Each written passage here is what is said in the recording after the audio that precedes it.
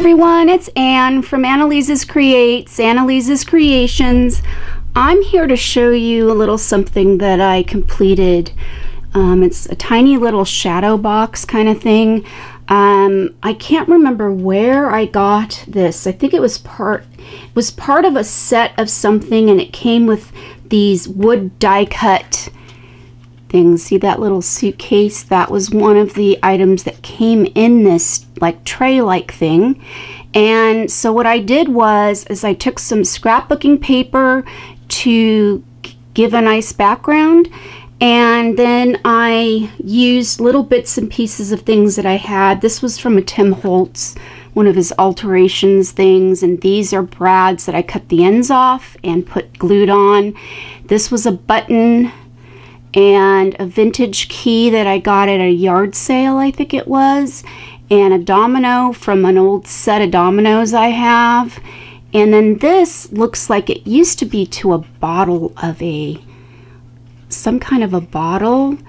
Um, it's like one of those metal labels from a long time ago. I got that at a flea market and the charm I got at Daiso Japan and I put a, a, jump ring and fed a little bead through it. And then I glued it on so it stays intact. So if I turn it upside down nothing's gonna fall out hopefully. And then the girl was from one of Tim Holtz's alterations thingies and the crown was actually a mold. I have, a clay mold that I used some air drying clay to create the crown. So I glued that in.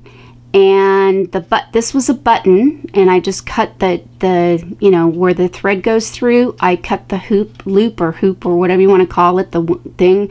This was from an old watch that I had. I took the face out of the watch took apart the watch and a gear that was in the watch as well.